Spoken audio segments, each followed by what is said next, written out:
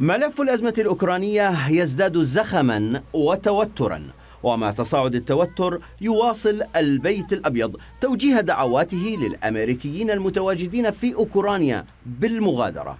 فيما خرج جاك سوليفان أعلى الشخصيات الأمنية في إدارة بايدن ليعلن أن الاجتياح الروسي بات وشيكا. لو حدث هجوم على أوكرانيا فسيبدأ بهجوم جوي وصاروخي من شأنه أن يؤدي إلى مقتل مدنيين دون تمييز. سيأتي بعد ذلك هجوم بري بقوة بالغة دون إخطار مسبق وعندها قد يتم وقف إجراءات الإجلاء ولن يكون أحد قادرا على التنقل عبر المواصلات الأرضية أو الطائرات. لا أقول إن هذا سيحدث أو لا لكن الأكيد أن المخاطر أصبحت عالية للغاية.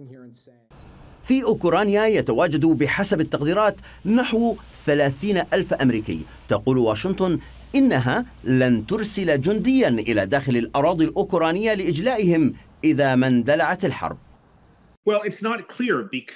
العدد الدقيق للأمريكيين في أوكرانيا غير واضح لكن المعلومات الصحفية تشير إلى مغادرة سبعة آلاف شخص. الحكومة لم تتحدث عن أي أرقام حتى الآن لأنها تعتمد على تسجيل المواطنين لأنفسهم.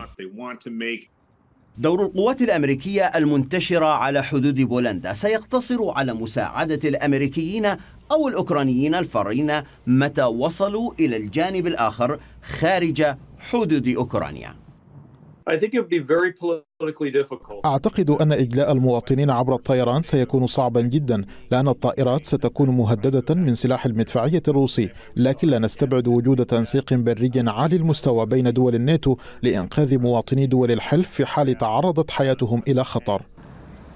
أما السفارة الأمريكية في كييف فأرسلت لمواطنيها عبر البريد الإلكتروني دليلا إرشاديا يتضمن الطرق البرية المؤدية من أوكرانيا إلى بولندا والمجر ورومانيا وغيرها من البلدان لاستخدامه في حالة الطوارئ.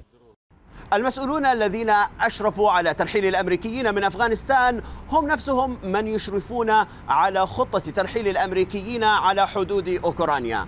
أمر دفع مشرعين جمهوريين إلى تحذير البيت الأبيض من تكرار ما يصفونها بالمأساة الماضية. إياد الجغبير سكاي نيوز عربية واشنطن